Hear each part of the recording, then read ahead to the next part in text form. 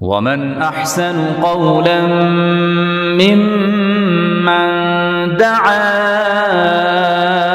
إلى الله وعمل صالحا وقال إنني من المسلمين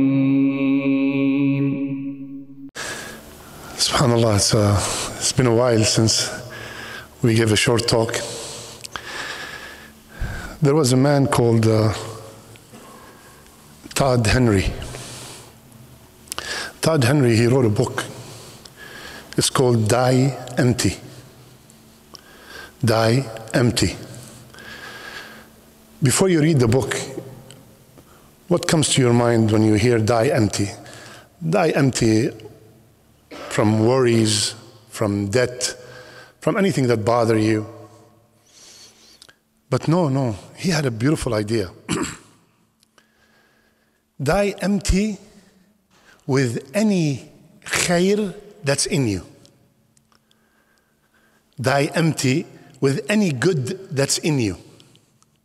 Do not leave any hope, any wish that you want to do, except you do it before you die. And all of us have so many wishes and hopes, and we keep delaying them, right? I wish uh, to memorize the Quran. I wish I can give more. Every single one of us can. And we all know that we all can do more. I can give extra money. I can teach somebody Arabic. I can visit more sick people. I can attend more janazas. I can, too many. We all know that we can do more. Die empty. Die empty. And subhanAllah, how we always take things from famous people and we forget the most famous person ever have said that long time ago 1400 years ago what did he say he said عليه الصلاة والسلام إذا قامت القيامة وفي يد أحدكم فسيلة فليغرسها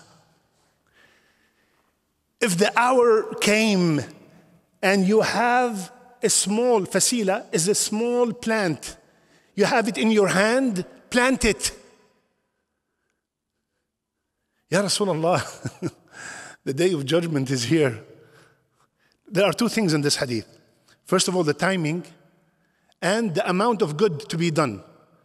The timing is the day of judgment. The sun is gone, the ocean is on fire, the mountains are moving, it's gone, it's Yawm al Qiyamah. And the quantity is a fasila, small thing. Both things are in the hadith. Do not belittle any good thing. Smile in your brother's face. Do not belittle it. Let me see your beautiful smile, Ya Shaykh. Ah, oh, MashaAllah. Huh? Subhanallah, you see, you just get die empty. Die empty, ya akhi. Give everything before you go. You know why?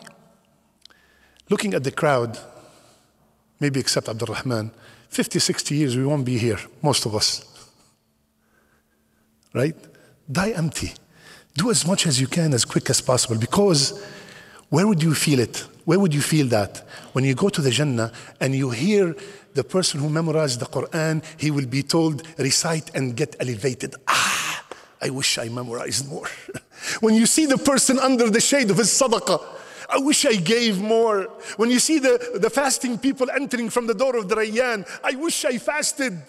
When you see the reward of the person who sponsored an orphan with the company of Rasulullah, I wish I sponsored somebody. Die empty. Die empty, akhwan. We have a lot of energy and a lot of things we can do. Why am I mentioning this? SubhanAllah, in the last couple of days, we have buried two dear brothers, Brother Saeed in Jordan and Brother Mahbub today. Subhanallah. And they both, Alhamdulillah Rabbil Alameen, left something. We all remember Brother Saeed by the teaching of the Quran he did. And Brother Mahbub, he left something. He left the designs and the architect of all these masajid, Allahu Akbar. What did you leave behind? What did you leave behind? What will I remember you with? Or what will you remember me with? If I drop dead tomorrow, what will you remember me with? Die empty. سبحانك اللهم وبحمدك نشهد أن لا إله إلا أنت نستغفرك ونتوب إليك